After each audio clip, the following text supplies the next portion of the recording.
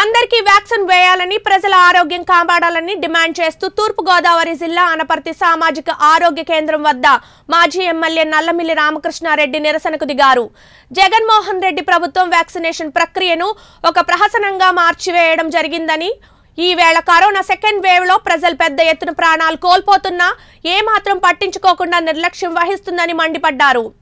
తూర్పుగోదావరి జిల్లా అనపర్తి మండలం రామవరం గ్రామంలో ఏర్పాటు చేసిన మీడియా సమావేశంలో మాజీ ఎమ్మెల్యే నల్లమిల్లి మాట్లాడుతూ జగన్ ప్రభుత్వం అధికారంలోకి వచ్చిన తర్వాత తెలుగుదేశం పార్టీ నాయకులపై అక్రమ కేసులు బనాయించి తద్వారా టీడీపీని నిర్వీర్యం చేయాలన్న జగన్ ప్రయత్నం పరాకాష్ఠకు చేరిందన్నారు. ఈ విధంగా కేసులు పెట్టడం టీడీపీ నాయకులను భయభ్రాంతులను చేయాలని చూడడం సరైన విధానం కాదని దీన్ని తీవ్రంగా ఖండిస్తున్నామన్నారు. తక్షణమే చంద్రబాబుపై లోకేష్ పై పెట్టిన అక్రమ కేసులు వెంటనే ఎత్తివేయాలని లేని పక్షంలో తీవ్రమైన పరిణామాలు ఎదురవుతాయని హెచ్చరించారు.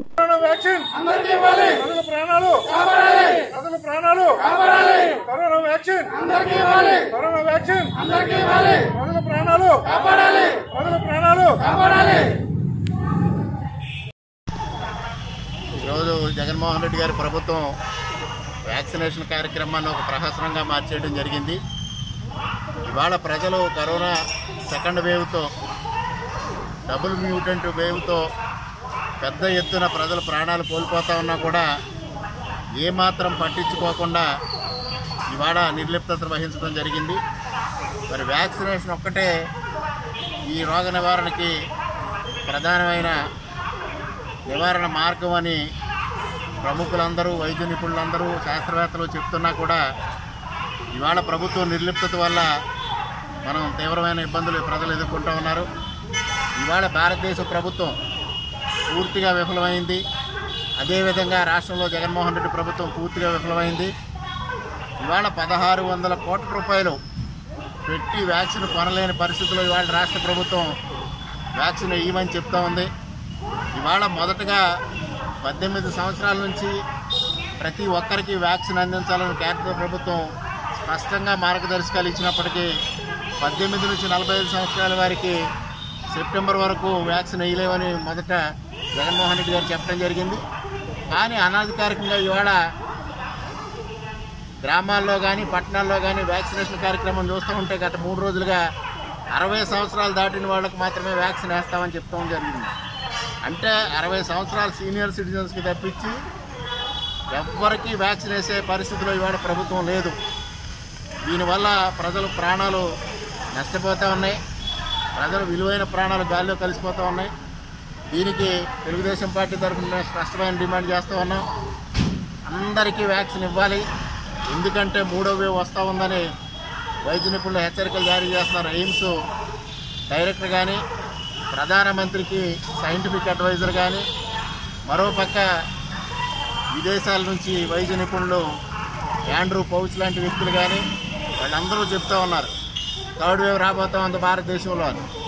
థర్డ్ వేవ్ వచ్చే నాటికి పద్దెనిమిది సంవత్సరాల వయసు పద్దెనిమిది సంవత్సరాల కన్నా తక్కువ ఉన్న యువ యువకులపైన యువకులపైన మాత్రం ఇది ప్రభావం చూపిస్తూ ఉందన్న నేపథ్యంలో యువతని కాపాడుకోలేని దేశం దౌర్భాగ్యమైన దేశం. యువతని కాపాడుకోవాలి ప్రతి ఒక్కరిని కాపాడుకోవాలి వృద్ధుల్ని కాపాడుకోవాలి.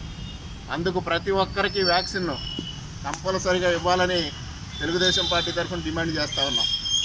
అనపర్తి నియోజకవర్గం శాసనసభ్యుడు ఒక వైద్యుడై ఉండి కరోనా మొదటి వేవ్లో కానీ రెండో వేవ్లో కానీ ఆయన పూర్తిగా చేతులు ఎత్తేయడం జరిగింది.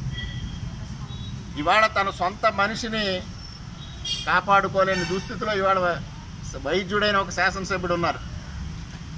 అటువంటి పరిస్థితిలో తన ఆప్తుడిని కోల్పోయిన తర్వాత తను ఏదో పెద్ద ప్రజలందరికీ సేవ చేస్తున్నట్టుగా కరోనా బారిన పడిన రోగులకి వైద్యం అందించినట్టుగా మాట్లాడుతూ ఉన్నారు.